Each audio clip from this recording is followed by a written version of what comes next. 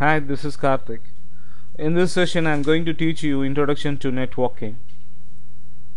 And let me see the objectives. So, Introduction to Networking. Under Introduction to Networking, we are going to see definition for networking, advantage of networking, and types of networking. Under this, we are going to see local area network, wide area network, and metropolitan area network. So, what is a network? A network is a set of devices connected by communication links. So, what is a network? It's a set of devices. It may be a computer, it may be a printer, or whatever it may be. So, they are connected by means of uh, communication links such as cable or radio waves or OFC, that is optic fiber communication, whatever it may be. A computer network or data network is a telecommunication network that allows computer to exchange information. So what is the main core of networking? So computers can communicate or exchange the information between each other. In computer networks, networked computing devices that is network node passes data to each other along the data communication or data connection. So whenever you want to forward an information from one node to another or from one system to another system. So the data can be passed through the intermediate nodes or we can call it as network nodes which forward the message to the destination node. Uh, a computer network is simply two or more computers connected together so they can exchange information. So when two or more computers are connected together so that they can able to exchange information between them. A computer network can be identified as a group of computers. So what is a computer network? It's a group of computers that are interconnected, interlinked between each other. For what? For sharing data between them or their users. So we are going to connect computers together for sharing data between the systems or between the users. The computer on a network may link through a cable, telephone line, radio waves, satellites, or infrared light beams. So the medium of communication or the medium of link between two or more systems can be established through cables or you can use telephone lines and radio waves, satellites or infrared light beams so where you can able to see an example for networking where all the networking devices such as PC uh, notebook and remote desktop databases are connected to each other. So what is the advantage of computer network? So it's very easy to communicate and speed is very good and ability to share files data and information. We can able to sh share hardware and sharing software so next we will see the components of network. So whenever a system wants to communicate between uh, sender to receiver if sender is forwarding an information this information is break down into zeros and ones we used to call as binary information. That binary information is packed as messages and sent through the communication medium such as telephone lines or radio links or wireless communication to receiver. So here someone wants to carry this information from sender to receiver. So the name is called as protocol. So what is a protocol? A protocol is a set of rules between the communication parties for the improvement of communication between sender and receiver. Or else in simple a protocol is a set of rules to be followed by the communication parties. So how to classify a network? The types of networks are classified based on the size and the area it covers and its physical architect. So based on these parameters we can able to classify the network.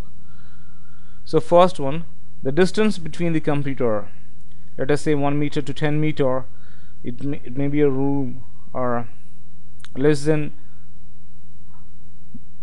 and equal to 1 kilometer it's maybe an office building and from 1 kilometer to 10 kilometer it may be a city and from 10 kilometer to less than 100 kilometer it may be a province. So during that type we want to use MAN.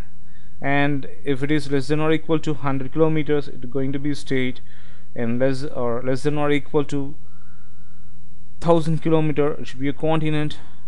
And for state and continent we are going to use wide area network. And if it is greater than this it's a 10,000 kilometer. It's going to be a intercontinental that is a planet and the type of network we want to use an internet. The same distance 10 meters classroom LAN 100 meters building LAN and 1000 meters campus LAN and 100 kilometers as a country WAN and 1000 kilometers a continent WAN and 10,000 kilometers of planet we want to use internet. So the types of network the network can be basically classified into three types. So local area network some metropolitan area network and wide area network. So where you can able to see is a local area network is a metropolitan area network and it's a wide area network which spans the entire globe for communication. So this is also an example for LAN which spans within the building and metropolitan area between the buildings and wide area network between the continents. So it's a local area network where you can able to see a single building LAN where systems are connected to each other by means of a physical medium. So a group of interconnected computers within a small area. If you're going to connect computers within a room or building or campus we can call it as local area network. The two or more PCs can form a LAN to share files folders printers application and other devices. And we can use coaxial or cat5 cables are normally used for connections. And due to shorter distance error and noise are minimum and data transfer rate is 10 to 100 Mbps. Next comes local area network. It's a distribution on their transmission media and topology. So example a computer lab in a school and MAN is a metropolitan area network where it's uh, the uh, area covered by MAN is more greater than LAN so designed to extend over a large area as I said in case of LAN used to cover a small area but in case of metropolitan area network which used to span a large area. A connecting number of LANs to form a larger network so that the resources can be shared. Networks can be up to 5 to 50 kilometers. And next comes your wide area network. Or country and worldwide network contain multiple LANs and MANs and distinguish in terms of geographical range. So that's all about your wide area network. And there are some other types of networks also. What are they? First we'll see WLAN it's a wireless LAN. A wireless LAN can be used high frequency radio waves for communication. The mode of communication it's not a mode of communication uh, the medium of communication between the devices is going to be wireless so it is called as a wireless LAN. And next one is a personal area network PAN we used to say.